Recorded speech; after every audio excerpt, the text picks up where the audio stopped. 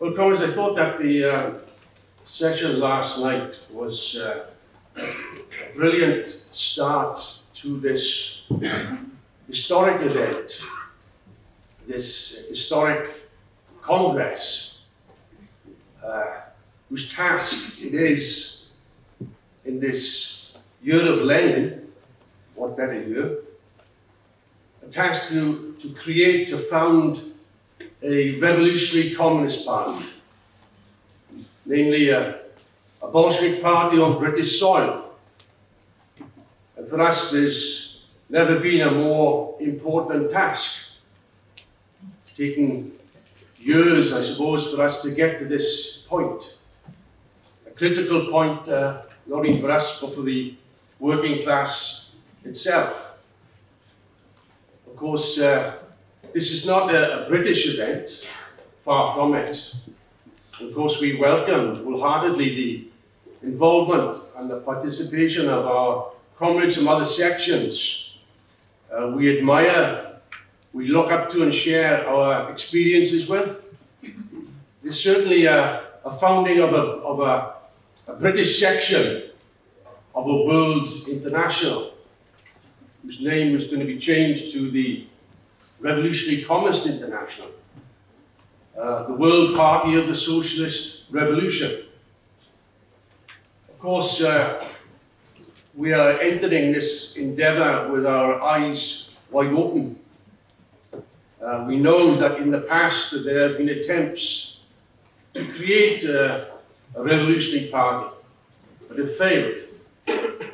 We go back to uh, 1883 in the formation of the SDF, the Social Democratic Federation, of Henry Hyndman, who uh, was supposed to be in a, a Marxist organization, but it was wrecked by dogmatism and by sectarianism. After the magnificent victory of the Russian working class in 1917 in the appeal of the International, a British Communist Party was formed in 1920, which drew to itself uh, some of the cream of the working class. But unfortunately, that was betrayed and, and shipwrecked by Stalinism and the crimes of Stalinism. During the Second World War, in 1944, our forerunner the creation of the original Revolutionary Communist Party by Ted Grant and others. Unfortunately, that too was sidelined insofar as uh, it faced unfavourable objective conditions, but more importantly, the intrigues of the so-called leaders of the Fourth International, which ended, uh, ended up destroying that movement. Of course, Ted Grant kept the flag flying, kept the, the flame of genuine Marxism alive in the most difficult period.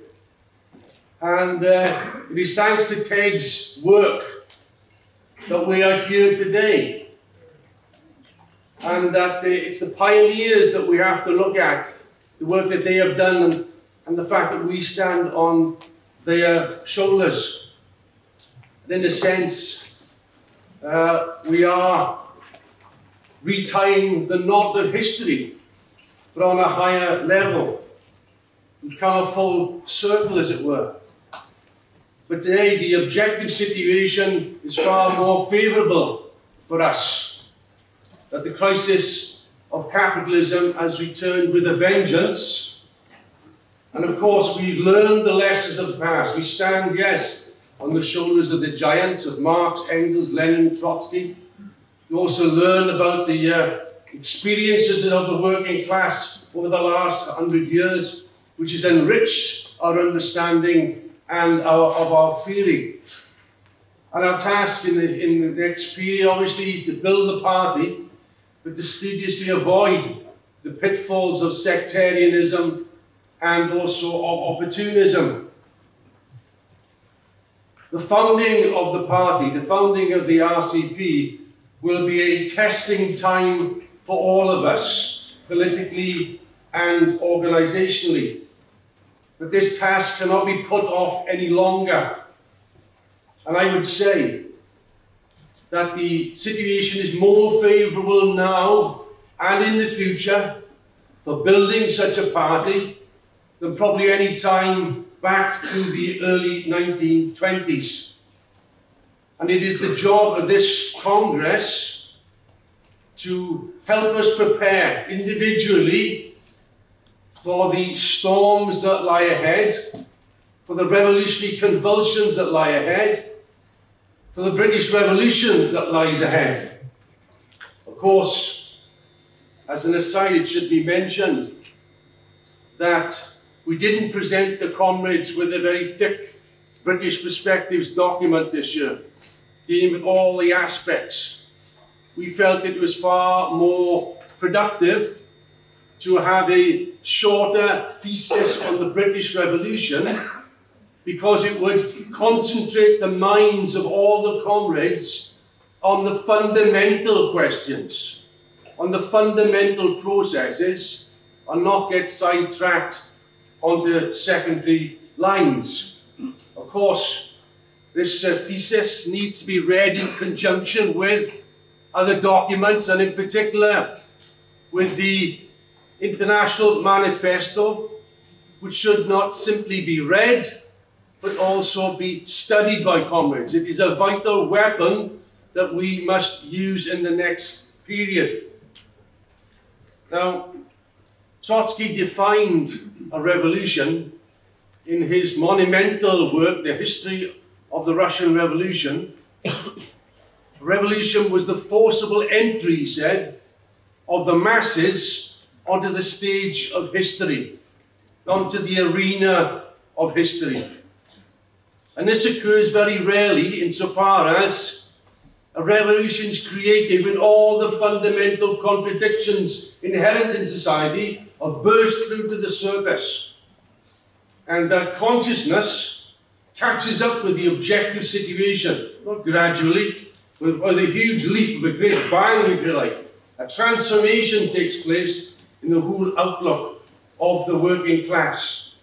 And of course, at that time, at that stage, if the Revolutionary Party is strong enough, it will put itself at the head of such a movement to carry through to a logical conclusion the seizure of power itself by the working class. Now, if that is our aim, then the question we have to ask today is, at what stage are we at in this revolutionary process? To what stage are we passing? Of course, it is extremely difficult to work out the tempo of events because there's so many factors involved. But what we are concerned with here is the general march of events, general process, where they are heading, and how far they have developed. Of course, the starting point for us, as always, is the, is the world situation.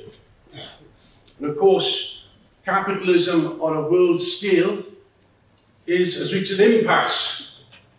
It's reached its limits.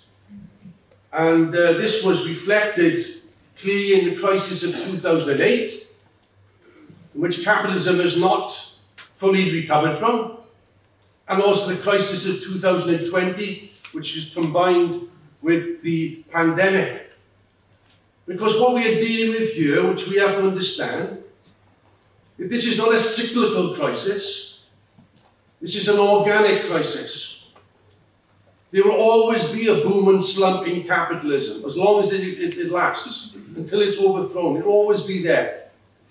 But what we're dealing here is not the boom and slump cycle, although that can be important, but we're dealing with something far deeper, more serious, that is this organic, inherent crisis of the capitalist system, where the very workings of the capitalist system have now uh, reached its limits.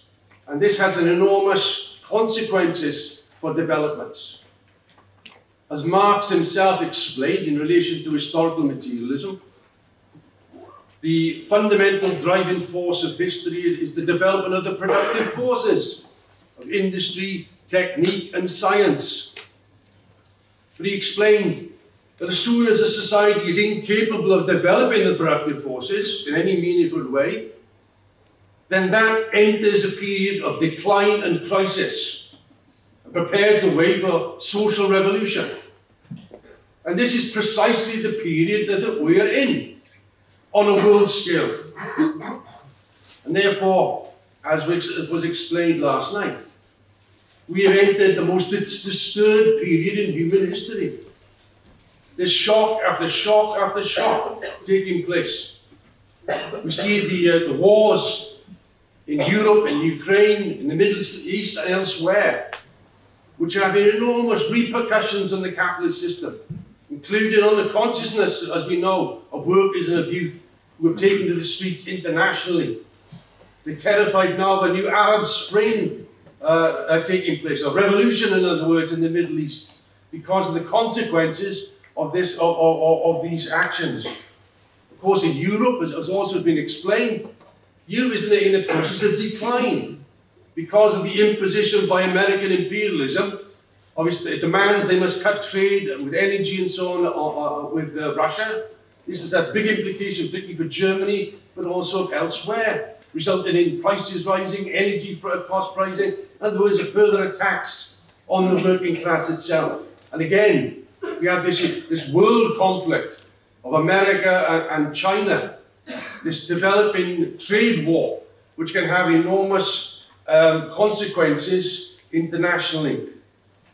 So at the present time, world capitalism is limping along, stumbling from one crisis to another. And that every attempt that they have made to restore the economic equilibrium has resulted in disequilibrium socially and politically. In other words, they're in a catch-22 situation. There's no way out as far as they're concerned. And added to this instability and crisis internationally, the ruling classes now are looking with um, trepidation at the election of Trump in November. He will be a bull in a china shop. He will make things a damn sight worse than they are. In fact, he's threatened immediately to impose 10% tariffs on all imports, 60% tariffs on Chinese goods. In other words, you're looking at the trade war being stepped up.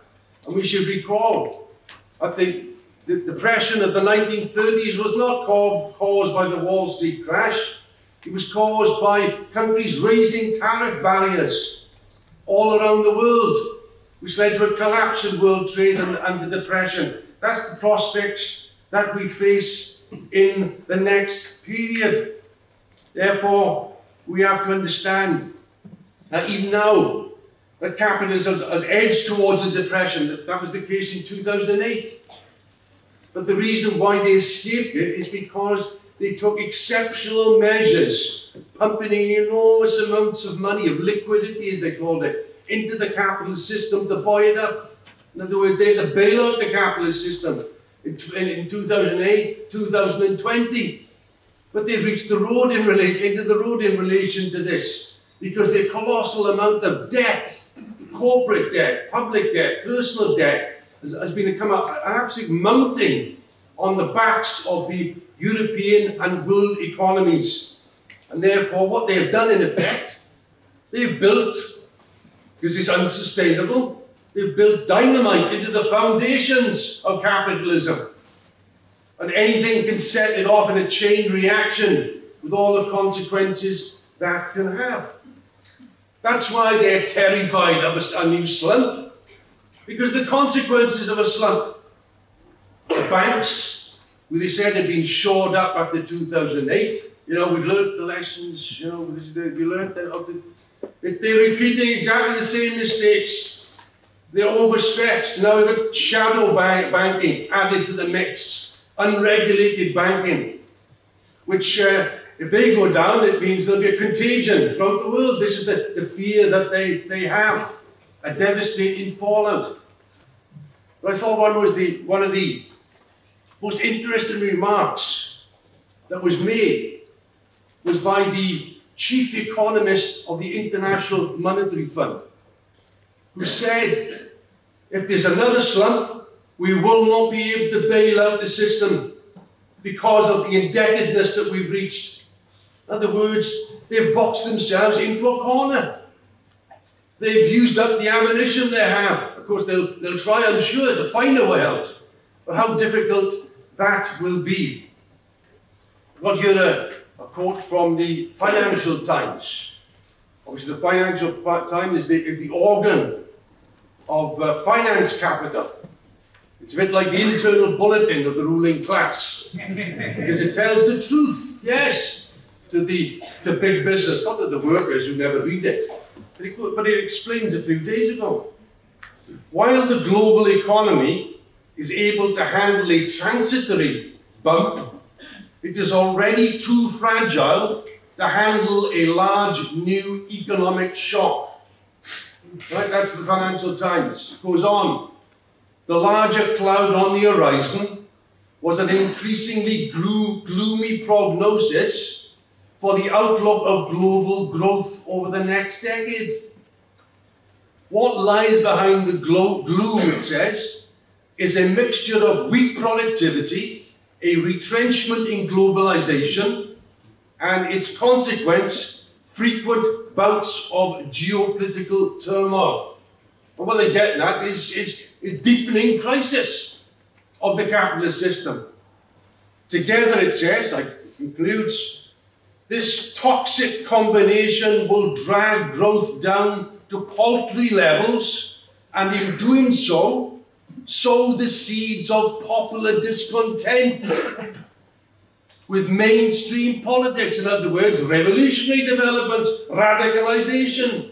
This is what the ruling class's perspective is. And it says in, its final comments the downward trajectory in the IMF's longer term growth for forecast looks like, I quote, Swiss ski slope now, I've never been to Switzerland, and I've never been on a ski slope, but I've seen pictures. It's very, very sharp.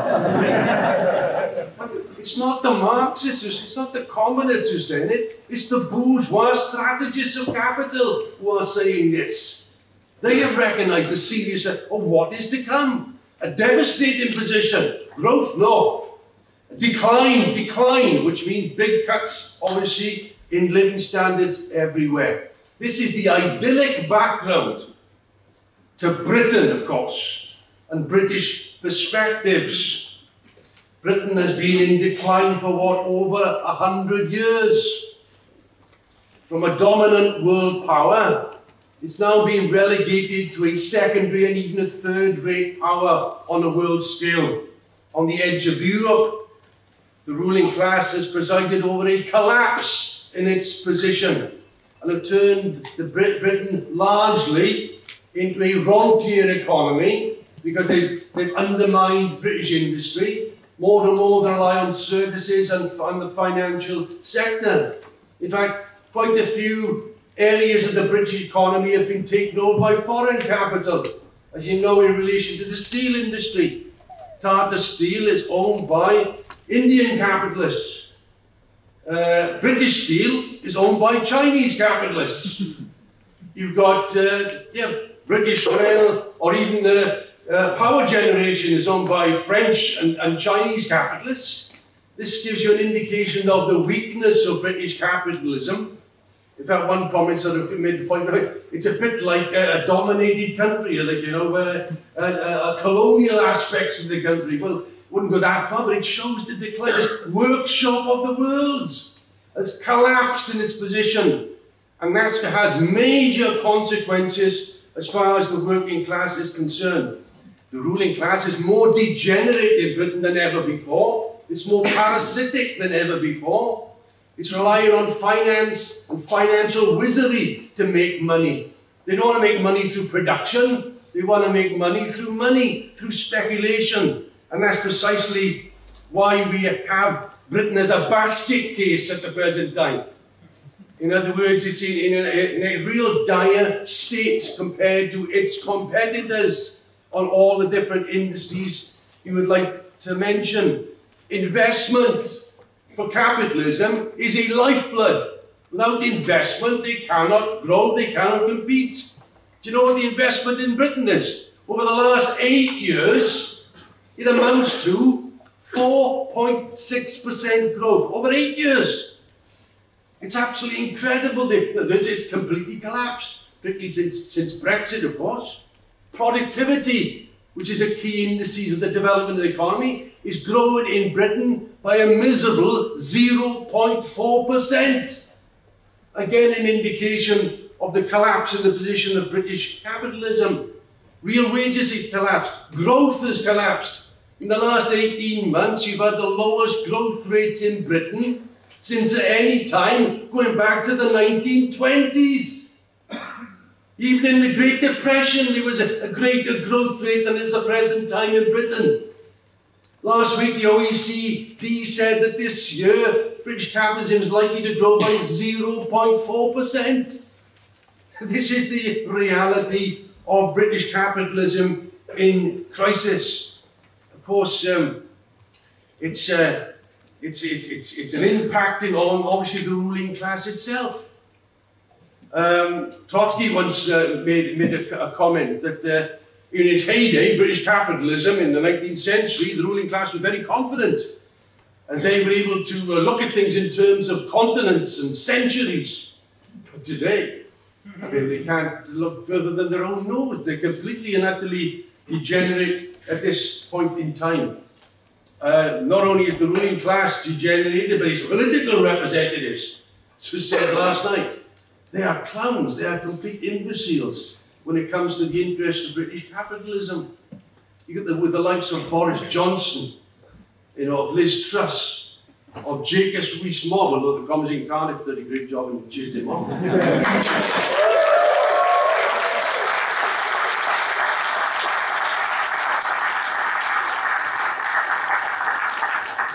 these are, compared to the past, my God, I mean, even Lloyd George, you know, uh, Trotsky said he was extremely cunning, but he was shrewd.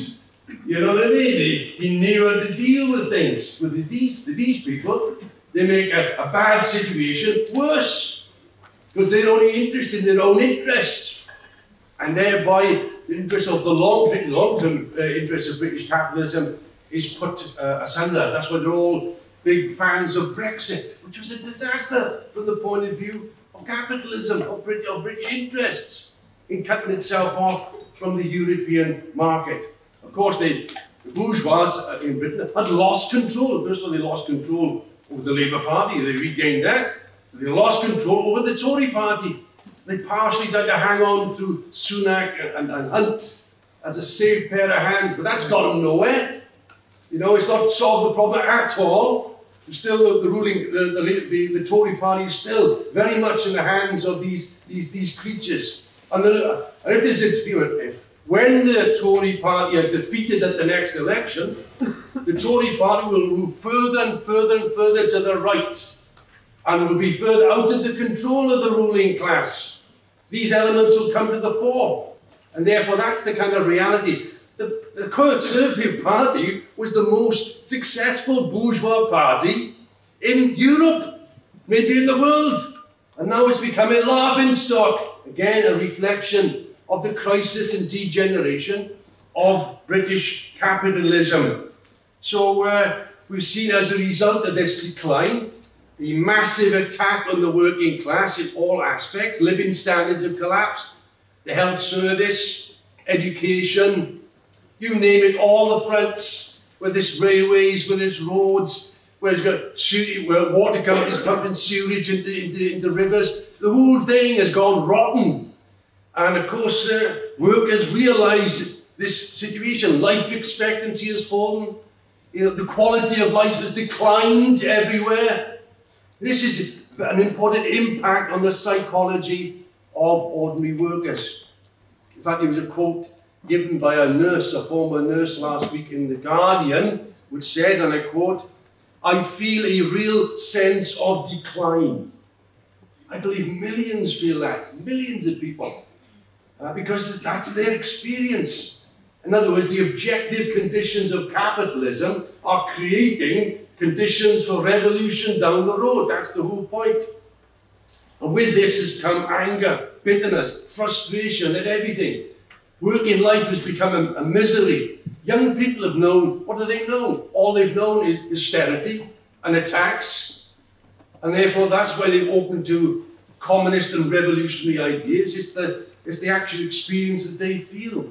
For the, for the many layers, capitalism is becoming more and more discredited.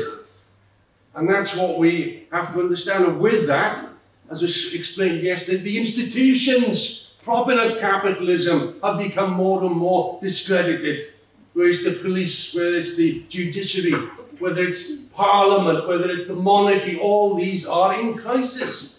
In fact, what we have here is not a, a political crisis, it's a crisis of the regime, which is something even more qualitatively different. It's more, far more serious than anything that we have experienced. Of course, uh, we know that with the Tories in meltdown, we saw the local elections. Uh, of course, the, the ruling class now has looked to Starmer to save the day. They want to send the working class now to the school of Starmer to be disciplined by him. And of course, uh, he's grooming, he's groomed himself for the position. He's a loyal agent of the ruling class. And therefore, he will do anything. He will carry out the dictates of the ruling class. As a consequence, we've, said, we've seen he's ditched all the promises he had in the past to be, in, in, and he's talking to the ruling class when he does this, of course. He's trying to lower expectations for what's going to come. Of course, uh, I mean, in the past, right-wing uh, right-wing Labour leaders, when they were fighting an election, used to make promises. Of course, when they got in power, they, they betrayed the promises. Starmer is getting his betrayal in now, before he's elected. But of course, this won't save him. Whatever he's doing, this and there's no great expectations for, for many people. They know what, what, this disillusionment of the Labour Party. It was explained uh, the other day. Amount of, I think, uh, su uh, uh support for Labour, general support for Labour, has gone down to levels not seen since 2010. The, the satisfaction rate for Starmer is minus 31. The only reason why he's going to win is that the Tories are even worse. That's all. There's no great illusions, yeah? If there are illusions, they'll be quickly uh, dissipated. But be, there's not going to be a great honeymoon period under these circumstances. And of course, uh, they've made it plain. There's no bailout for the working class. There's no bailout for the councils who are going bankrupt. 50 of them actually are going to go bankrupt in the next year, they reckon. And all that will affect the most poorest sections with the, with the cuts that they'll, they'll face. There's going to be increased anger and bitterness from the word go. And demands just give us help, give us help. And they'll have no help whatsoever. He said there's no magic money tree in a real cynical manner. And they talk about, oh, we'll have some growth, we'll grow the economy. What a joke, isn't it? How can you have growth with, with a, a dire capitalist system in crisis? The only way you can have growth is through investment. How are we going to get investment? Well, the only way you can do that is increase the rate of profit. And how are we going to do that? Well, you can, de- if you cut costs, cut wages. But if you cut wages, you cut the market. It's a catch-22 situation. There is not going to be any growth. They're going to be in a static or declining economy. And that is, is, is the reality of the austerity that comes with it. So that's what we are talking about in relation to, to a Starmer government. It will be the most unpopular government, probably in modern political times, even more hated than the Tories are at the present time. It's going to create enormous opposition from the working class. They're not going to stand by and see their living standards further cut to the bone. They're not going to stand by and tolerate from a Labour government cuts that they they, that they, in other words, a continuation of the Tory government. We've said in, uh, uh, in the past that we've seen a reawakening of the working class after being dormant for 40 years in the strike wave of 18 months ago. And what a, a change that would in a, in a radical, in a short piece of, piece of time. I mean, you had layers going on strike, despite all the anti-trade union legislation, probably one of the worst in the world. They had to jump through hoops in order to go on strike, even against their leaderships as well. But it was incredible to see new layers of the working class or becoming the working class, barristers for God's sake, apart who, of all others, nurses, the Royal College of Nursing. It's not even a trade union in the real sense of the word. Going on strike the first time for a hundred years. It's an indication of the groundswell that is there and the potential that, that is there. And of course, this is going to be uh, this, a, a, struggle is going to be on the cards with a Labour government as, as, as well. All hell can break loose under a Starmer government. The trade unions will be forced into opposition. The trade unions would like to have a cosy relationship with Starmer. You know, tea and biscuits number 10. But that's out of the question. Because what they like on one hand is not going to be what the workers will want. And they'll be demanding action. They'll be demanding a struggle to gain what is just for them against the attacks and against the austerity. So we're going to have this heated development of the class struggle. And where again, new fresh layers of workers will come into activity. Even non-union layers will come into activity. And they, under the, this impact, I mean, you can criticize reformism in, uh, in articles and so on, quite correctly. But the working class does not learn from that. They learn from experience. An ounce of experience is worth a ton of theory, as Lenin explained. And the experience of that Labour government will be a vicious, vicious lesson for workers of the limits on, on betrayal of reformism. And that's why they'll begin to draw, yes, radical and even revolutionary conclusions as far as that is concerned. Of course, uh, they'll be under pressure. The left trade union leaders, they'll start uh, making more radical speeches, that's for sure.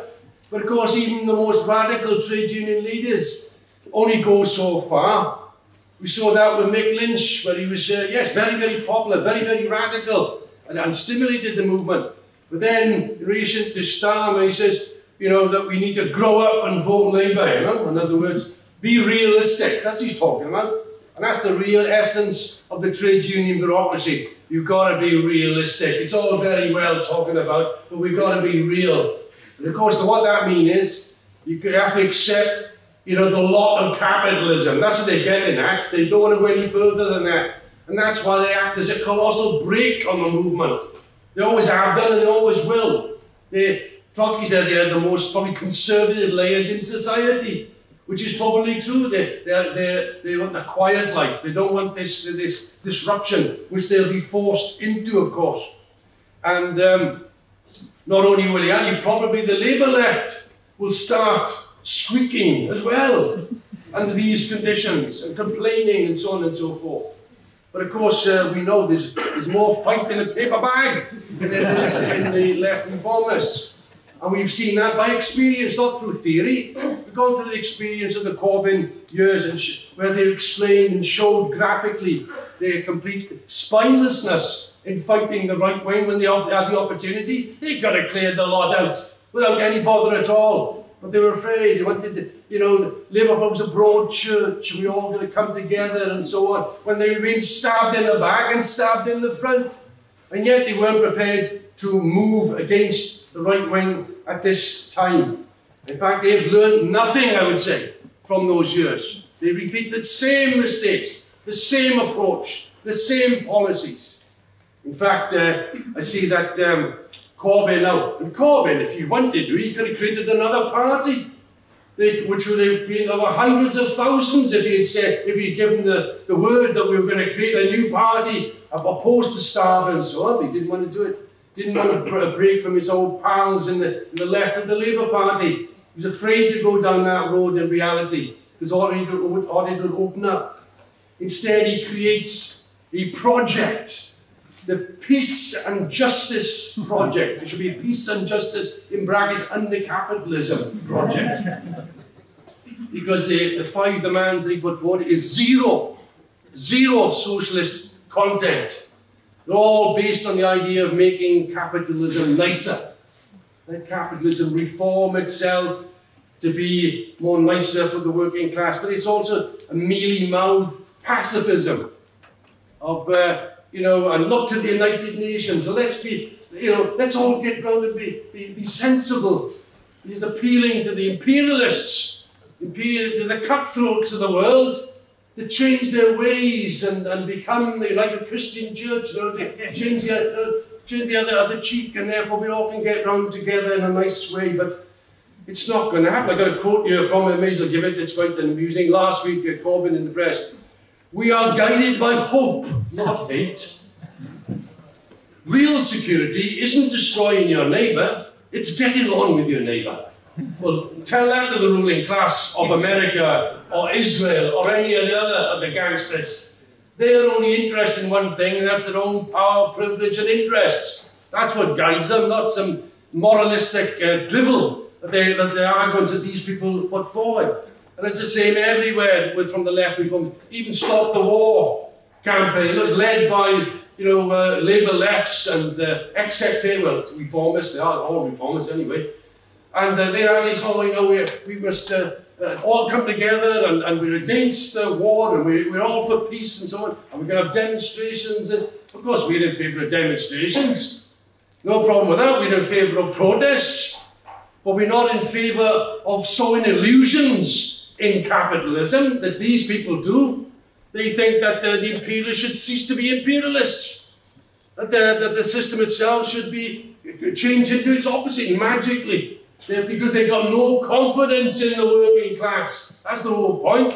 The reason why they are weak, they have no alternative to capitalism and no confidence in the ability of the workers to change society. But what we're about is to tell the workers the truth. Yes, we can explain patiently, but at the end of the day, we must tell them the truth. Unlike the reformists, who don't they spread illusions in capitalism. That is the danger of these people. In other words, they derail the movement against capitalism and not lead a movement against capitalism. And that's why we must take them up quite sharply politically in order to explain the way forward for the advanced workers. Of course, this applies not simply to the, to the international questions of war and peace, but to the, as I said, the, the economy and capitalism. Well, they don't use the word capitalism. They complain about neoliberal policies, bad policies, bad capitalist. There should be good capitalist policies, he rather bad capitalist policies. That's the level to which they have sunk. And that's the, the basis on which they operate. That is, they accept the capitalist system and therefore adopt, in, in reality, Keynesian policies, Keynesianism, deficit finances. That's all they talk well, we should borrow more, borrow more and spend more, as if it's a magic formula. The only problem is that capitalism is, is a system based on, on exploitation and, and profitability, not simply markets. And that's why this the idea of Keynesianism, as with monetarism, which are head and, and tail of the same coin, offer nothing for the working class, except inflation or deflation, whichever you may want. And this, incidentally in my notes I read a piece by Andrew Murray. Andrew Murray was a, leading member of the British Communist Party and he's still a writer for the uh, Morning Star. He left and joined Corbyn and became an advisor to Corbyn. And he wrote a piece saying we must learn the lessons of the Corbyn era. I thought that'd be interesting. What's the lessons then? He basically said, no, Corbyn was right politically and his approach was correct. The problem was the working class didn't support Corbyn. In other words, blame the working class, not the spinelessness of these lefts. And that's the kind of role of the, of the Stalinists and so on, who try and cover up the tracks of the betrayal of these left reformers because they are left reformers themselves. As we've repeated many times, inherent in reformism is betrayal. Not because they are personally responsible, it's because they limit their whole actions to remaining within capitalism, which is in crisis. And therefore, every attempt at compromise, which is their, their basic line, means a compromise with capitalism and a defeat for the working class. This has always been their approach and attitude. Of course, um, what we have to understand uh, and base ourselves on is not the whims of these leaders and so on, is the objective crisis itself of the capitalist system, which is pushing capitalism to the brink. And we should explain also, as the bourgeois kind of say, it's not, uh, revolution is not created by revolutionaries. revolution is created by the contradictions of capitalism, which propels the workers in this direction. The revolutionaries try and put their head, themselves at the head of the movement in order to guarantee its success, that's all. In other words, as Marx explained, you know, that the red mole of revolution is burrowing all the time under society, under capitalism, but will burst out at a certain point. Of course, we have a, an interest in finding and explaining at what stage are we at in this process. We can see the crisis in the ruling class, the splits that are opening out there, the volatility in, in the middle class, the uh, uh, lack of any faith in the bourgeois institutions, uh, the re-emergence of the working class. All these are symptoms of a pre-revolutionary crisis developing in British society. We should be clear, I know sometimes we can overstep the mark and we can be a bit more, we, we, you know, we have to be careful in our appreciation of what is going on. This is not a pre-revolutionary situation at the moment. There are elements there, we are moving towards it. You know, we've got to be careful in our analysis. Trotsky said, you know, be careful, don't confuse the first month of pregnancy with the ninth. But he also said, you know, we have to recognize when conception has actually begun. And clearly it has begun in relation to these elements of a pre-revolution situation developing in British society at the present moment. And of course, we can see that events are moving far quicker than ever before. And this crisis in Scotland, again, is an illustration of how things change very quickly. Sharp and sudden changes in the situation. From relative stability for a long period of time we see that Scotland's come out, and the SNP have caught up with the anger that has faced the bourgeois and other parties in the rest of, of Britain itself. So it, it shows the way in which things happen very quickly, not in a straight line. Nothing has ever happened in a straight line. Of course, that applies to the revolution. If you think that there's going to be an easy route to the British Revolution, you are mistaken. There's going to be lots of difficulties along the road. Why? Because we are not a mass organisation. That's why. There's a lack of a subjective factor. As a consequence, it's going to take various routes. There's going to be setbacks, of course. With the leaders we've got, there will be setbacks, big setbacks. But every setback will prepare the ground for a new advance of the workers. That's the point about it. Until, obviously, the working class itself can take no more from the situation. It will be, therefore, a protracted crisis. It will not be short-lived. It's not going to be like Russia in 1917, within the space of nine months, the working class is in power. It's going to happen over a period of time, over years, as a matter of fact. More like the Spanish Revolution of 1931-1936, which developed over a period of time and within that period, you had reactionary periods, the two black years, 1933-34.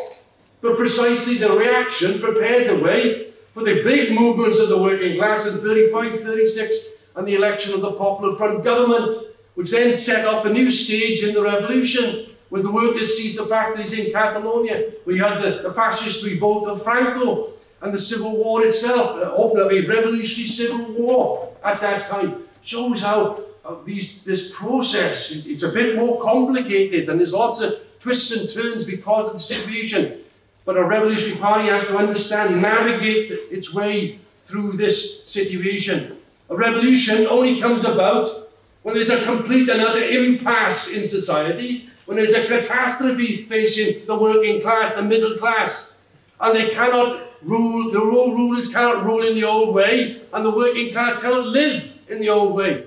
There's no way out.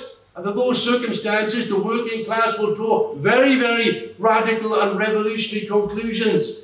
It means, in reality, that the working class loses confidence in its old traditional organisations, the Labour Party included. It means that the middle classes lose confidence in the bourgeoisie, and the bourgeoisie loses confidence in itself. That's when you have a crisis in the whole of society. And under that impact, the working class will move not in the traditional way, but in a revolutionary way, in an insurrectionary way, to solve its problems. And of course, at that time, if we are able to build a party sufficiently large, then we can play a decisive role under those conditions. No doubt our, uh, our enemies and so on will say, oh, don't be so ridiculous. Surely not Britain or countries. You know, conservative-minded workers, Britain, you'll never have a revolution here. And that uh, argument has been on and on and on and on. Well, you can have a certain validity for a certain time. Trotsky once explained in the 30s were quite uh, stormy. He said that the religion of capitalist progress has never been deeper in Britain among certain layers. I will say now it's, it's finished. The religion of capitalist progress for many people has gone out the window. That is finished. It's a new period that we've entered. And that period has been prepared by the crisis of British capitalism. That's the whole point. And there's no solution to this. It's going to get a damn sight worse. And the working class, unfortunately, is going to suffer as a consequence. But we've seen that we look at things in a dialectical way. How things change into their opposites. That's the whole basis of dialectics. How stability becomes instability. And look at Britain. A very stable country in the past, very unstable now because of the deep crisis that is affecting us. You know, as, as, as Alan said, very great. The Bible is great, great, great book. You're the first, the first should be last, the last should be first. Very dialectical. Britain used to be up and right, up and running. It's down the bottom of the pan now. And that again has major consequences as far as we are concerned. And we don't we don't make this up. You know, this is based on the facts and figures produced by the bourgeois themselves. We don't make it up. It's clear cut. And therefore, we have to bring out clearly to the workers and the people we influence what the reality is on the ground. In that sense, the past cannot be any real guide to the future in Britain. Because the future is going to be one of calamity compared to the past. Revolutionary Convulsions will be on the order of the day. And, and obviously the ruling class will be incapable of preventing this. And if they have the buffoons they have at the present time, they're going to make it a damn sight worse. And therefore, this is the epoch that is opening up. A period of, of inevitable revolutionary developments in Britain and elsewhere. This is the perspective. Now, perspective is not a blueprint. A perspective is a working hypothesis. We look at that. We follow events. We follow the processes. It's a guide to action. It's a guide to our orientation. No more than that, but a very important guide and explains in a very general way what is going to happen in the future. We are the memory of the working class, as Trotsky once explained. And it's the task of the party to resolve this problem. Because the greatest crisis and the greatest problem comes down, or the greatest factor in history in that sense, is the subjective factor, is the revolutionary party. Without the party, the working class will not succeed. History shows it. With a party, it can come to power, as the Russian Revolution explained. And our task is to, we're the only ones who understand that, are preparing for that eventuality. We must work to that view in mind.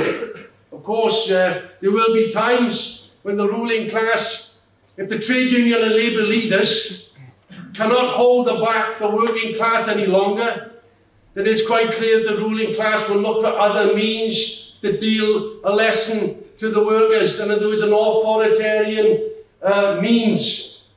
And they've done that in the past. Of course, the problem they've got is the balance of forces in society is very much against them.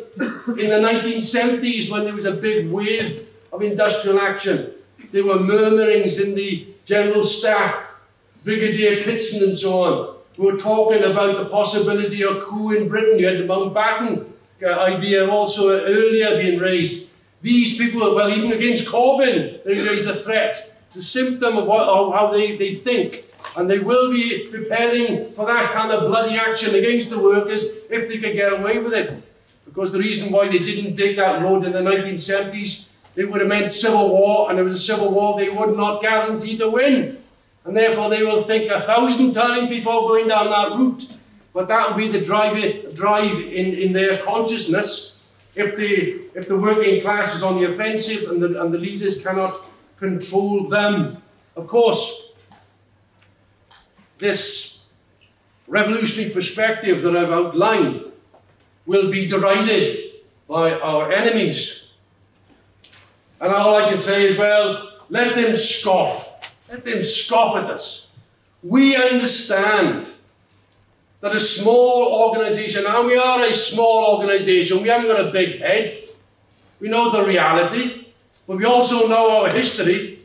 That a small organization with the right ideas, with the right approach, and connect with the working class can grow very, very rapidly under those circumstances.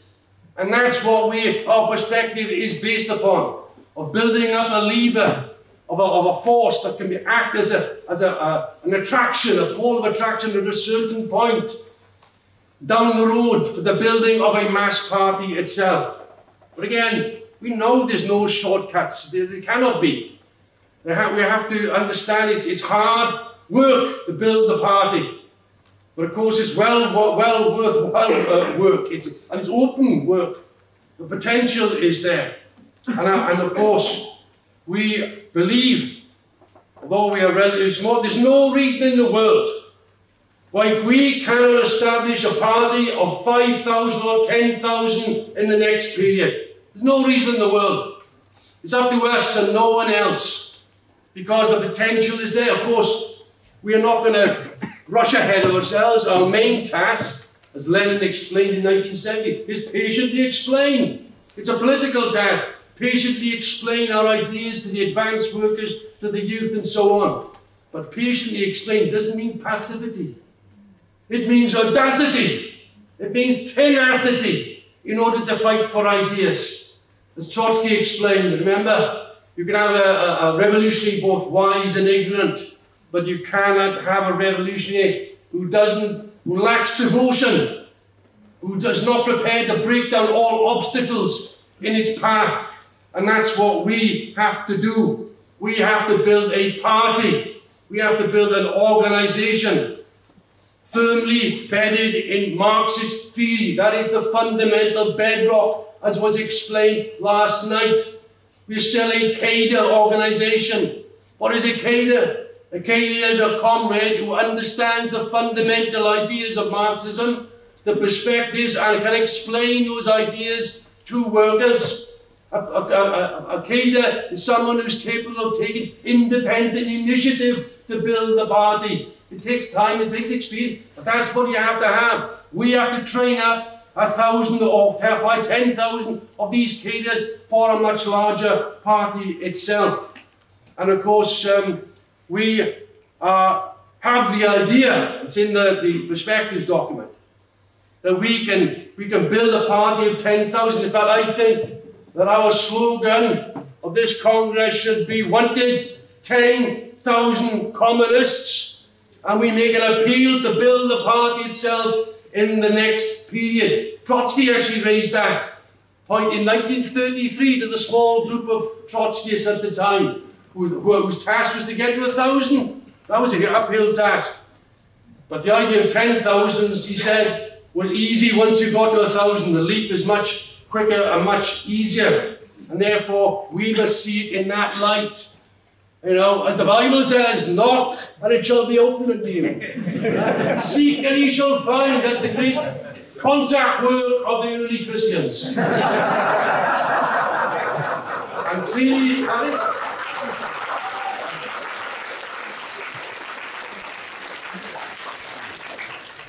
as, as you said last night, there's never a greater attachment. Most of the commies are very young, which is great. I wish I was a bit younger. No, I. but you have the enthusiasm, you have the spirit, you have the elan, which comes from the ideas of Marxism. You are the shock troops of the Revolutionary Party.